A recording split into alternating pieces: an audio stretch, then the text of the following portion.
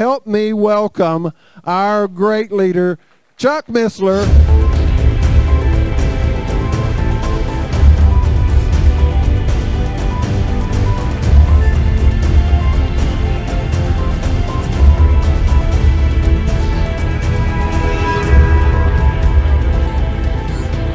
Well, we have a message for you, Chuck.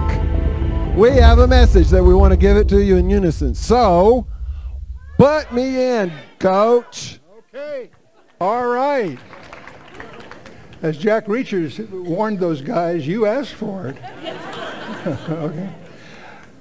I'm really intrigued how Lewis has given a whole new meaning to alien encounters. oh boy. Needless to say, this is one of the most, ex- we've done this, what, 10 years? There's no question about it that this audience is the most exciting one we've had. We feel more electricity, more atmosphere of commitment from all of you that I can ever remember. That's really exciting. That, that in itself is an incredible blessing to us because that's the fulfillment of a dream, a fulfillment of a dream. But let's uh, pick, try to pick up I'll overlap a little bit with some of the things I said, but we're going to go in a little different territory here. Um, the semantic map. We use terms around here. Uh, we obviously, end time scenario is pretty straightforward. Strategic trends is another. These are studies that we have. Many of our studies would be under these categories, right? And, and uh, so the end time scenario is a Berean kind of thing, right? And the uh, strategic trends is an Issachar kind of thing. Are you familiar with our peculiar jargon there? I, by now, I'm sure you are. And so, uh, Berean, of course, is motivated by the uh, uh, our trademark verse for several decades uh, to be more like the, the Bereans rather than the Thessalonians, in that they receive the word with readiness of mind and then search the scriptures daily to prove whether those things be so. And I always used to emphasize that second part through most of those decades. In recent dec- uh, years, I've come to realize it's the first part that's the toughest. Setting aside our presuppositions to really understand what the, let, the, let the text talk. And uh, blindfolding our prejudices. Many of the things that we study today, the real challenge is to get rid of the traditions behind it and understand what the text really says. And so, and of course, uh, Bob Cornuke's book on the temple being a, a, classic example of that. But anyway, the, uh, the real issue, though, is not only the Berean studies, which we obviously encourage, and the Issachar uh, pursuit of truth, what's really going on being a second part. But if you leave here tomorrow with just that, we failed. Because the Berean and the Issachar elements are intended to combine for in the koinonos, or the action thing. And that's, we, we argue that the koinonos the translation of both the studies of Berean and the insights of Issachar combine in action, where the rubber meets the road, so to speak. That's motivated by um, Exodus uh, 20, verse 7, which is the third commandment. Thou shalt not take the name of the Lord thy God in vain, for the Lord will not hold him guiltless that taketh his name in vain. And that we argue, and we can do that from the text, by the way, is that has nothing to do with vocabulary. You know, I know for most of my life that's always been taught in church not to swear and those kinds of things. That's not what it's about at all. I'm not saying you should swear. That's not the point. What that's talking about is not vocabulary. It's talking about taking the name of the king. It's talking about ambassadorship. And you should not take the name of the king as an ambassador un- unless you have, unless you're competent and, and uh, faithful to that calling. And so that's when I like to ask people, how many of you are in the full-time ministry? Can I see a show of hands? Those of you that don't have your hands up, repent.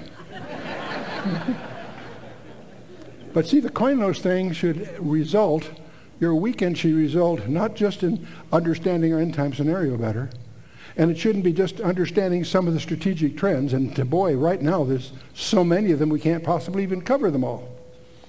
But the real issue is to have that translate into tactical actions, tactical priorities.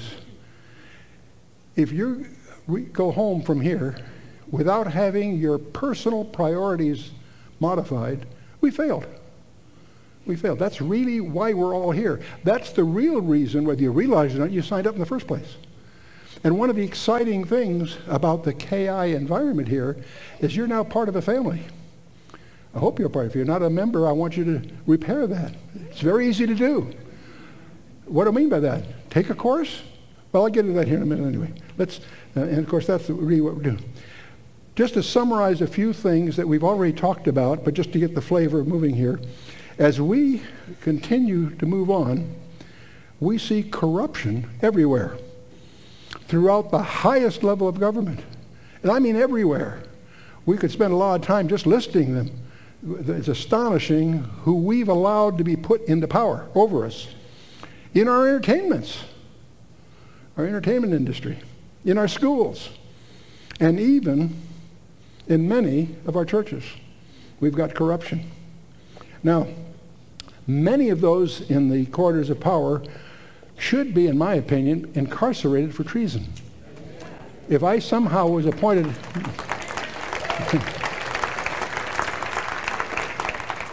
if I was somehow appointed military governor of this country, the first thing I would do is put most of our con- congressmen, senators, and other officials in trial for treason. And I mean that very sincerely. And uh, so legislators sign bills they haven't even read. That's astonishing that not only that it has happened, but they're proud of it. Executives who are allowed to ignore laws, right and left. Judges who reverse juries. I thought, that, I thought that's what juries were for. Amend laws, and they indulge in social engineering, destroying our country. They're doing that from the, from the, the, the uh, Leaders who fail to exhibit the most elementary ethical conduct. You know, that's one thing that made our country great in the early years was the concept of the curb and the original exchanges. My word is my bond. These were men that may not be saved, but they did have an ethic that you could trust them. I've seen many deals done on a napkin in a restaurant or on a handshake and millions of dollars at stake. And even when it proved unprofitable, they stuck with it because that, was that was their ethic. A commitment's a commitment. That's an ethic that was very operative. I spent 30 years in the corporate boardrooms, but that was more than 30 years ago. And I realize today it's very different. But I can remember in those days, the guys that I had the privilege of serving with on 12 different boards were those kinds of people you could trust them. If they said it, give you a handshake, whatever, you could make on that. And that's the way it worked. And because the most precious thing they had was their reputation because it's a small community. And uh, that's, of course, a long time ago. So the entertainment industry celebrates every imaginable evil and attacks, deliberately attacks family values, the very values that God has established for our welfare. There's a systematic attack, whether the same-sex issues, whether it's the sanctity of the marriage in the first place, and so for the entertainment industry goes out of its way to attack. It deliberately dumbs down, and the, the educational establishment deliberately dumbs down our youth. I used to think the fact that we spend more for every student hour every year and the results get worse, I used to think that was just bad management. That's because I hadn't done my homework. There's many books have been written to point out that that's the intended result. And I remember when David Breese put his book, The Seven Men Who Ruled the World from Their Graves, one of those being, being John Dewey.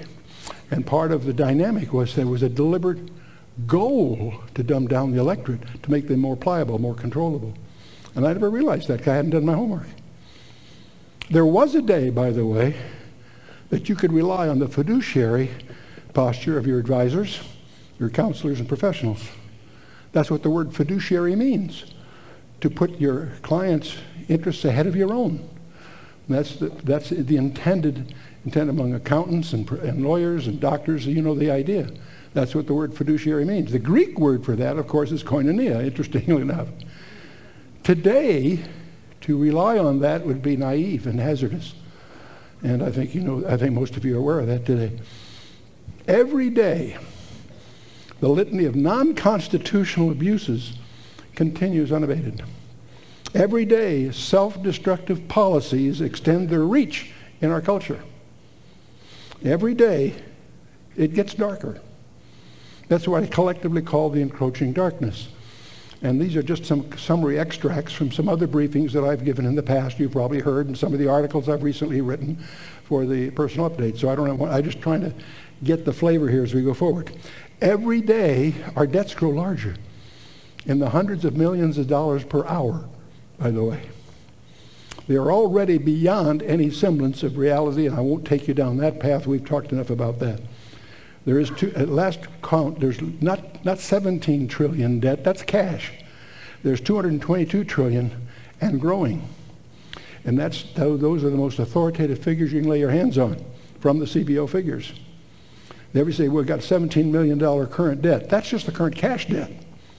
That doesn't deal with over 200 million, trillion unfunded liabilities or Social Security, Medicaid, and other entitlement programs. You need to realize that there's over a half a million dollars in debt for every man, woman, and child in our country. We're borrowing on the future of our great-grandchildren. You think that through. And the U.S. government continues to borrow. I think the st- statistics out of date, but I'll leave it here. Four out of every $10 it spends is borrowed.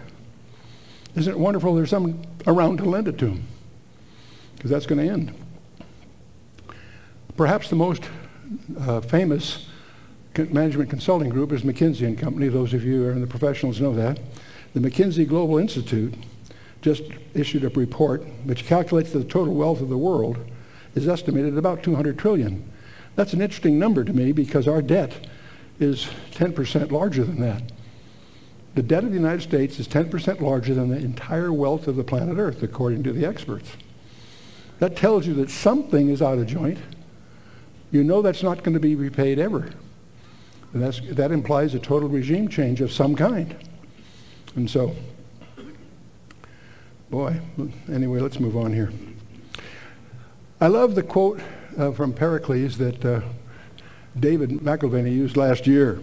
It's not, we, we know it's not our job to predict the future. In fact, that's deliberately prohibited in the Torah. The prophecy was not given to predict the future. We're not there. There it's to glorify God after it happens. So Pericles says the key is not to predict the future, but to be prepared for it. Those are different things. And we know there's a turbulent future coming. And that's part of what we talked about yesterday. That's part of what the conference is about.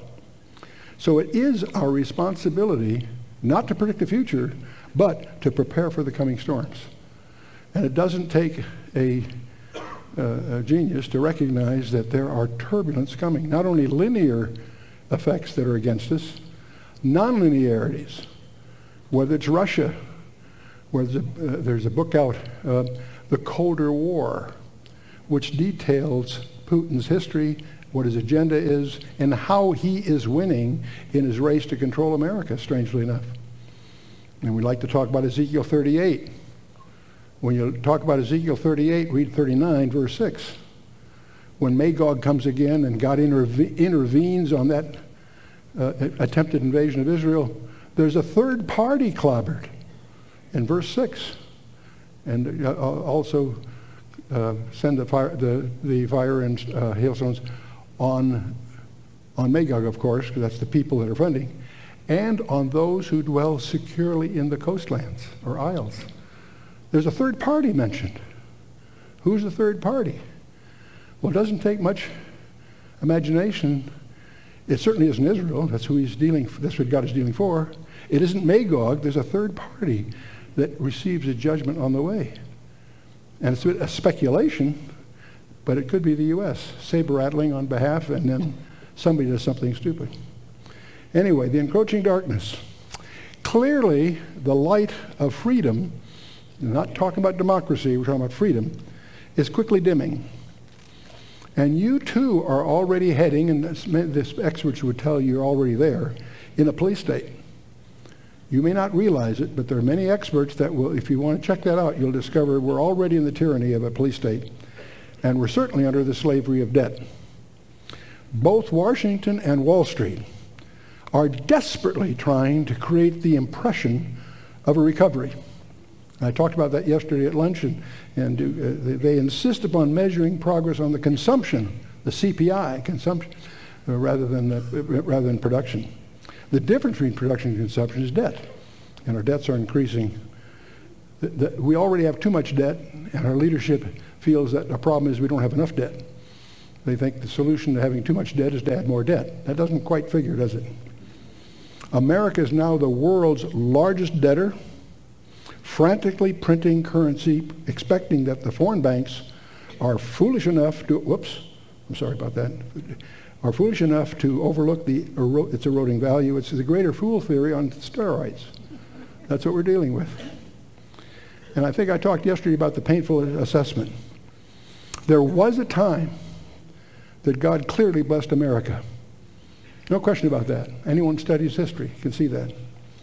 However, we've responded to all that by outlawing him from our schools and from our public places. What's God's reaction to that? You think he's pleased with that? We allowed our kids to be taught that the creation itself was some kind of cosmic accident. You know, the ancient cultures used to attribute wonderful things to an idol of stone or whatever. We found a more insulting idol to worship. This wonderful create. You can't take a leaf or a, a, a, a feather from a bird instead without realizing the elegance of design that surrounds us everywhere. And yet we teach our kids there's no creator. It wasn't necessary. It all happened by chance. That's the most insulting presumption we could invent.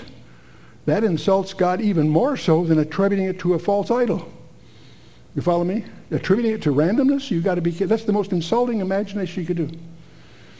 We have shredded the fundamentals of life, marriage, fidelity, and mutual commitment, not only in our marriages, in, in all our commitments. The sanctity of a commitment is gone, not only from our marriages, but from our business transactions. So sue me. The one where the best lawyer wins. And now we wonder why our kids have no sense of destiny. They can't even find a job. And I talk about a painful blessing. That sounds like an oxymoron, a self-contradictory phrase. Can a, how can a blessing be faithful, as, uh, painful? When it punctures a delusion. There are many examples of that. The simplest one I usually like to use is a five-year-old discovers there's no Santa Claus.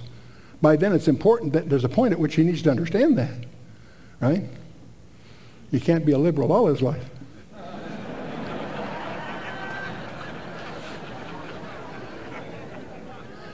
I'm always, I'm always in, intrigued with, with vocabulary. The sexual perverts and homosexuals have spawned this term gay, which is a lie. It's not a gay lifestyle. It's, it's self-shortening. But gay is the, the, the term the press allows. But we use, we're guilty of the same thing. We use the term liberal. The liberals aren't liberal. They're, they're, into, they're only tolerant when you agree with them. They're out, they have an agenda to separate us from our heritage. The term isn't liberal. The term is subversive. They have an agenda to separate us from our, they're welcome to do what they want to do, but they're not satisfied. They want to separate us from our heritage.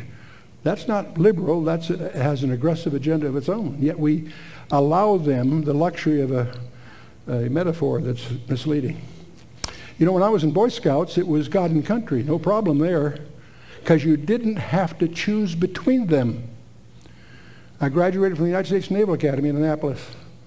And both West Point and Annapolis were things that you could take seriously. 150 years of tradition behind each one. And you had a sense of identity with America's history, one that you could be proud of.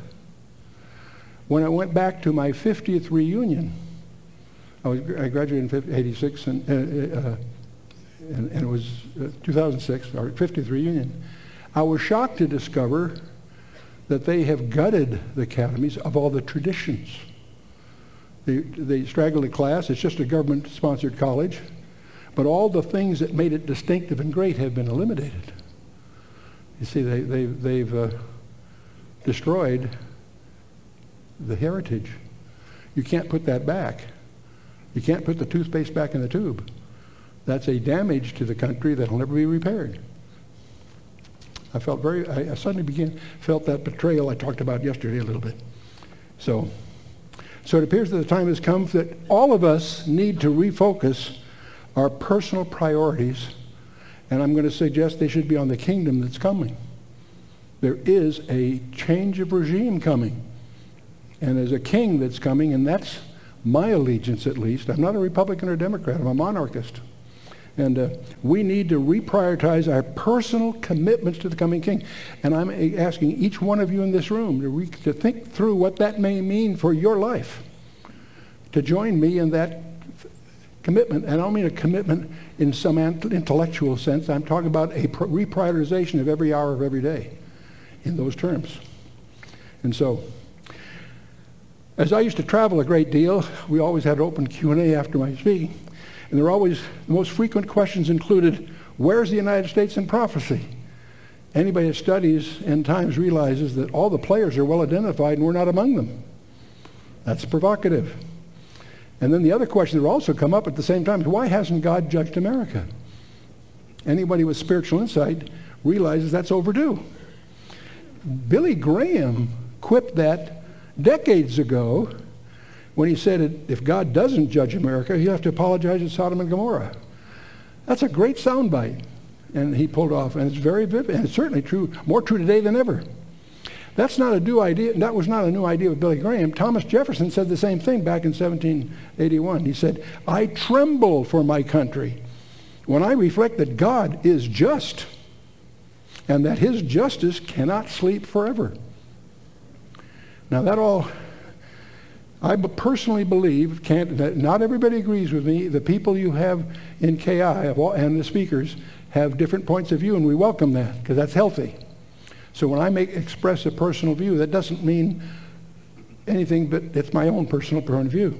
I believe the shield of God, which previously sheltered us from an overdue judgment, has now been removed.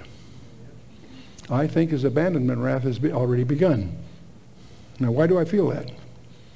See, for decades, I used to rely on Genesis 12, 2 and 3 to answer that question, why hasn't God judged America? And I used to lean on Genesis chapter uh, 12, 2 and 3. That, uh, you know, because where, where Abraham is promised, I'll bless them that bless thee and curse them that curseth thee. And I used to use our support of Israel as our protection, our shielding of, over to judgment. But now in the first time in America's history, America's turned its back on the plight of Israel. As a, our official position as a nation is against Israel. Even in the past, when we supported it, we did it clumsily, and there, was some, there were some betrayals. But our official position was one of standing for Israel's right to exist. And uh, now we even have a Sunni Muslim in the White House. You've got to be kidding. And I won't get into all that. You know more about it. You know more. You probably want to know about that. There are several wraths of God if you study your scripture. There's appositional wrath. He's always against sin, obviously. There's catastrophical wrath. The flood of Noah is one example of that. There's eschatological wrath. Revelation 6, let me get that little arrow off the way here. Um, Revelation 6 to 19 is a well-known example of eschatological wrath. But the one I see most frequently used throughout the scripture is what I call the abandonment wrath of God. And that's, that's what Samson did, the last visit with Delilah, when he was strapped and he expected to be able to break through, and he couldn't. And in that instant, he realized something I'm sure must have terrified him when he realized God's hand had been removed. He no longer could break loose from those bonds. Same thing happened in the northern kingdom. They went to idol worship. So God recruits Hosea from the southern kingdom to go there and present his indictment of the kingdom. And from Hosea chapter 4 through 14 is the layout. It's not a preachment to repent or else this will happen. No, no, no. It's laying out what's going to happen because. And it's summarized in a simple verse. As far as Ephraim is concerned, leave him alone. He's joined to idols. That summarizes the flavor of those 10 chapters. And, and, and that, what God did is just took his protective hand away and let the Assyrians remove them from history, which he did. And uh, that's where we get the famous uh, Isaiah 9:10, bricks replaced with hewn stones, sycamores. That whole judgment derives as part of that picture. The southern kingdom, 100 years later, the southern kingdom is in the same predicament. And Habakkuk is really upset because he realized how far Israel has fallen, or I should say Judah has fallen. And uh, And God tells, tells him, boy, what's coming you won't believe, even though I've told you. He's talking about a judgment that's coming, where God uses the Babylonians, in this case, to be his instrument of judgment on the southern kingdom. So now, we all misquote this verse that Habakkuk gets from God. Behold ye among the heathen, and regard and wonder marvelously, for I will work, God speaking, I will work a work in your days, which ye will not believe though it be told you. We quote, we often are guilty of quoting that out of context. The context is he, God's describing to Habakkuk, there's a judgment coming you won't believe, even though I tell you. And uh, so, so you work through this, and you get to verse 4. One of the most fascinating verses in the Old Testament is one if you're just reading you might miss. Speaking here, behold, his soul which is lifted up is not upright in him, but the just shall live by his faith. And that is a little phrase that would disappear into obscurity, except it becomes the key phrase by the Apostle Paul for three of his epistles. The just shall live by his faith. The just shall live by faith. Who are the just? Paul answers that with the epistle of the Romans. And in Romans chapter 1, verse 17, he quotes Habakkuk 2.4 and builds his whole epistle on explaining justification. Who are the just? That's pretty cool. You get to, uh, the just shall what? How shall the just live? By works? No, no, no.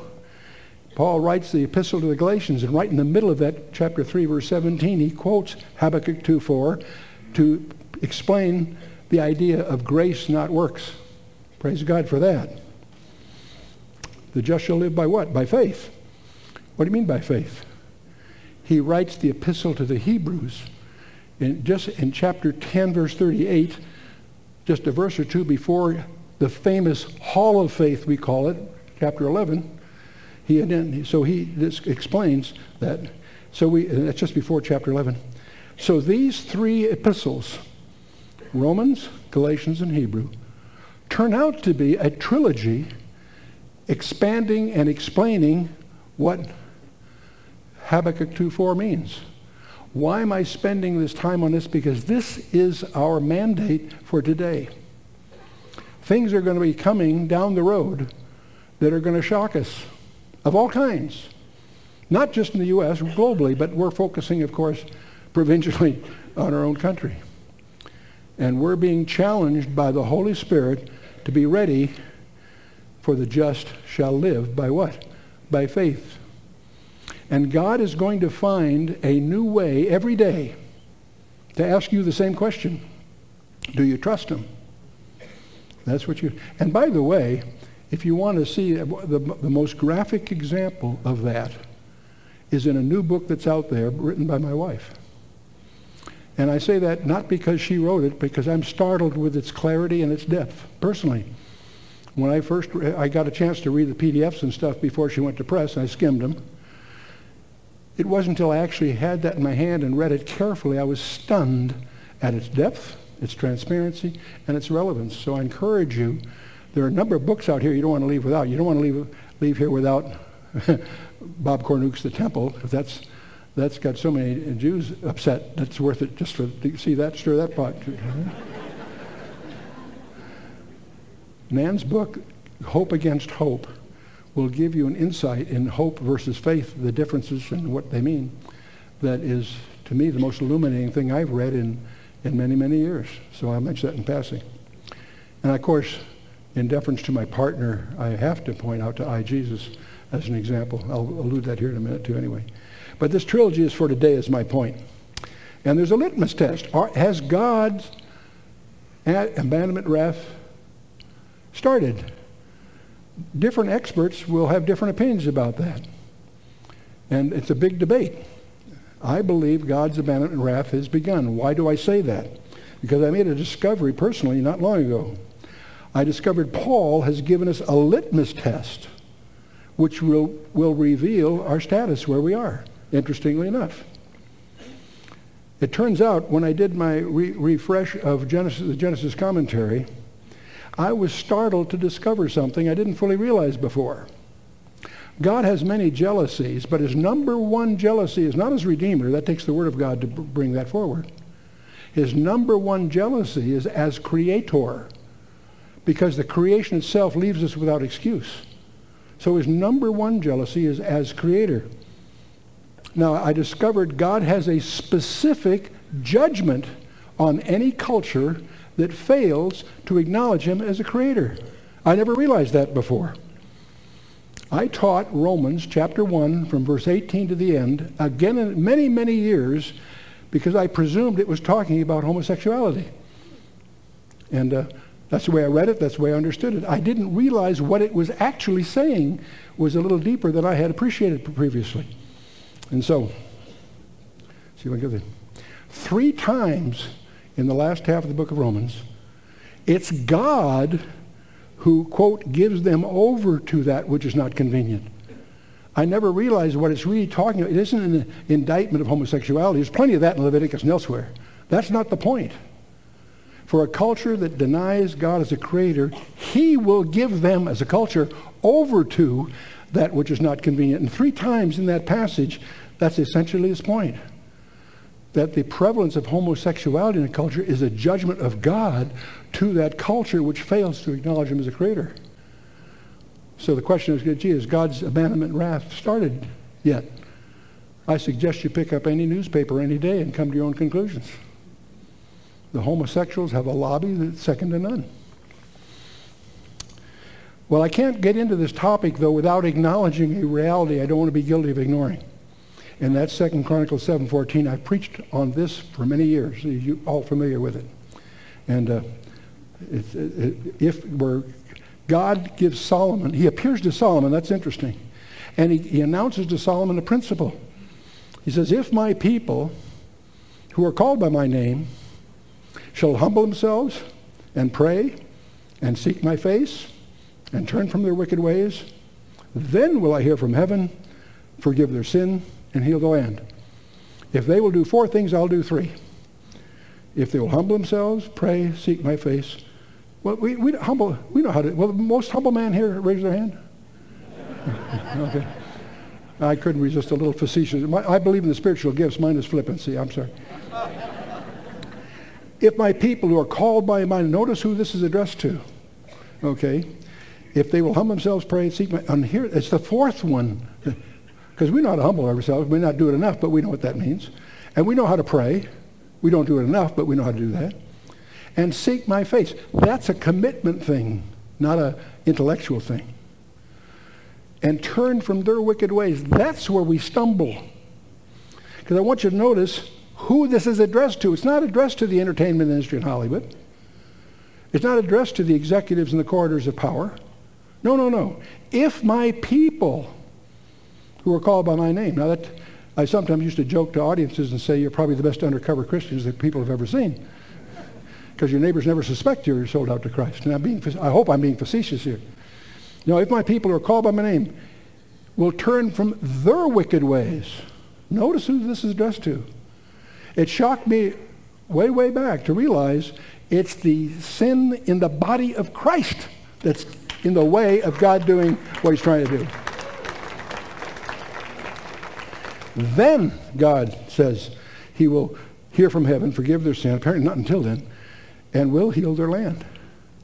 So I wanted to go on record before I go on further. I never want to stand in the way where repentance is a path to our redemption. But I have to tell you candidly and just candor with you, I don't see a spirit of redemption, uh, of uh, repentance within the body. I see it here and there. Praise God for that. Don't misunderstand me. But I don't think I could honestly represent to you collectively there's an atmosphere of repentance within the ecclesia in America. I hope I'm wrong. Nothing would please me more in the coming months to find out, gee, well, boy, was I wrong there back in October. But what I really want to focus on, having said all that as a warm-up, I want to share with you two things, something that's obvious and something that may come as a surprise. But I want you to leave this conference with your personal action plan. And you need to come to terms with that yourself. And your channel, I usually always put this on the screen to make a point. And I'm going to put something on the screen that's preposterous. I believe it sincerely, but don't, don't accept it. If you accept what I put on the screen, you flunk the chorus. I want you to challenge, and I think your presence here does that very thing. I want you to challenge these things that you and I are being plunged into a period of time about which the Bible says more than it does about any other period of time in history, including the time that Jesus walked the shores of Galilee the climb, or climbed the mountain Judea. Now this, that's preposterous, that we are moving into a period of time about which the Bible says more than it does about the gospel period. That's preposterous. I hope you think so because I want you to challenge that. Okay? And by the way, you just heard an incredible presentation that does that very thing. There's things about uh, Egypt I think most of us had never picked up on, thanks to our friend Joseph. I'm so glad he's a member of our family here. But the question, how do you, how do you challenge this thing? You've got to do two things. You first of all got to find out what the Bible really says. Not what Chuck Missler says or whomever. That, no, you have to find out yourself what it says. You can't delegate that to others. Now, fortunately, in this uh, environment we live in today, there are tools and I forgot to bring a couple of mine, I think. There are all kinds of tools that we have that are fantastic. You can carry a credit card in your body that has all the teachings of Matthew and Genesis in English, Mandarin, German, Roman, whatever. The, the tools we have, and I don't mean just this, you, many of us have more Bibles in our phone than we used to own at home. Okay, and, it's, and they're word searchable. So the, we have a unique environment. Never before in the history of man has the Word of God been more available everywhere. The advanced information appliances and the internet, for heaven's sakes, do you realize that all of man's knowledge is a couple clicks away if you know how to use it? That's fantastic. You can accomplish more in 10 minutes than scholars used to be able to do in six weeks because it's right there all, it's just incredible.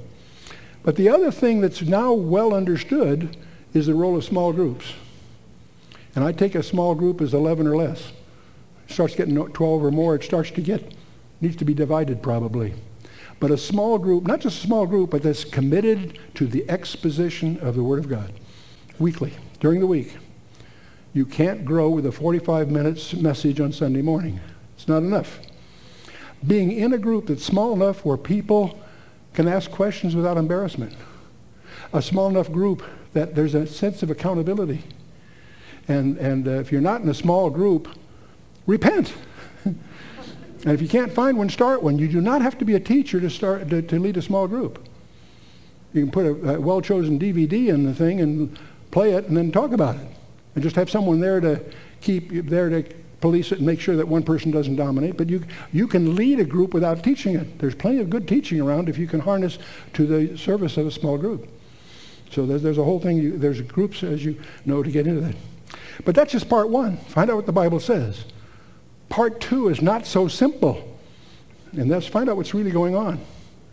And uh, what is truth? Pilate asked so famously. That's the trick to understand. And that's when I praise God for WorldNet Daily. WND is an example. Not the only one, but one of the leading ones. But find out the resources that you have. We do live in the age of deceit, and one of the tools we hope to instill in our programs is to get people to discern what's real and what's not. Because we live, that's what the Issachar Avenue is all about. To cut through the baloney and find out what's, because everything's biased, at least sometimes deliberately. Your trick is to find out what's really going on. And that takes a whole different set of skills than the, the Berean Avenue. You know it's true. The challenge is to understand it. There's a set of tools to help you. In the Issachar Avenue of study, it's just the opposite. Those tools and resources are antithetical. And that's a whole different family of resources you need to learn how to use. But I want to mention one of the remedies here. If you haven't discovered the book called The Pilgrim Church, you'll discover that throughout the history since Pentecost, small groups of Bible believers have been struggling to remain faithful to the Word of God, but they all have been oppressed and persecuted not by the local, not by the government, the national or imperial government. That's the one we always know about. No, no. By the local churches. And to really get into that, you want to discover A.H. Uh. Uh, Broadbent's book, The Pilgrim Church. But anyway, setting that aside for the moment, even if all established institutions become prostituted to serve the siren calls of social injustice, and there'll be plenty of those, there still remains a powerful alternative, and I'm going to get into that a little bit. I'm going to now admonish you, three, in fact, four. Doesn't that sound biblical? How often it's three but really four, or six but really seven. You know, you've seen that term. Well, I'm going to do the same thing to you. There's three basic steps we've talked about, and I'm going to surprise you with a fourth to add to that as we go here. Three are familiar, but the fourth may be a surprise. What's the remedy? Step one. Get serious about your personal commitment to the coming king. Well, I've accepted Christ. praise God. But are you really serious about that commitment? Jesus is not a concept, a worthwhile tradition, a comfortable compromise in a sea of alternatives. Well, most everyone here has outgrown that naivete. And this is where I resisted the temptation to put a little snapshot of I Jesus in here, because that's one of the reasons that we published that. Jesus is alive. He'll soon be coming to take his throne with an appointment that was established before the foundation of the world. The one thing every one of you in this room needs to understand is the reality of a living Lord who has a yearning. You know, it shocked me to come to terms with the fact that, that Jesus has a yearning he, he created the place in the first place, and yet he has a yearning.